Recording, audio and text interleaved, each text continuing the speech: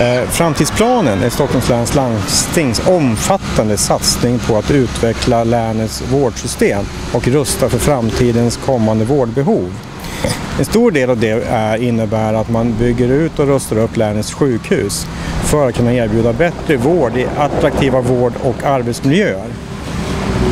Hur ser framtiden ut för just Sankt Görans sjukhus då? Eh, Sankt Görans sjukhus är en viktig del i framtidssatsningen.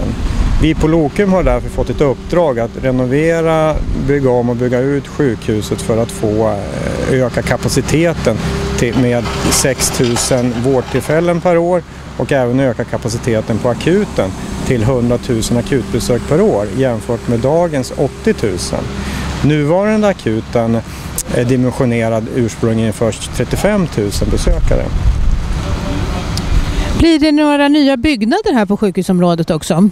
Ja, för att kunna möta upp de ökade behoven så behöver sjukhuset byggas ut med nya byggnader. Här till exempel där vi står nu planeras det för nya lokaler som kan ta hand om upp till 4 000 förlossningar per år. På andra sidan, lite längre bort, planerar vi en ny vårdbyggnad.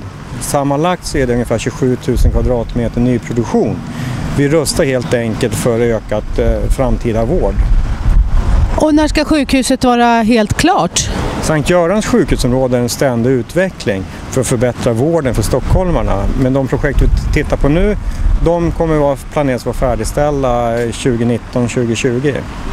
Attila, du är projektledare för akutenbygget. Kan du beskriva vad som händer här nu i gropen precis just nu? Ja, vi lyfter över prefabricerade betongpelare och betongbalkar som ska bli en provisorisk ambulanshall i två plan.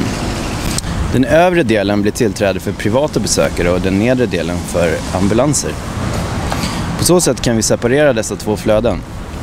Vid sidan om här kan ni se det blivande nya hiss och trapphuset som vi bygger för akuten. Detta kommer även bli den nya, nya entrén. När blir den nya akuten klar? Den nya akutmottagningen kommer invigas under våren 2016.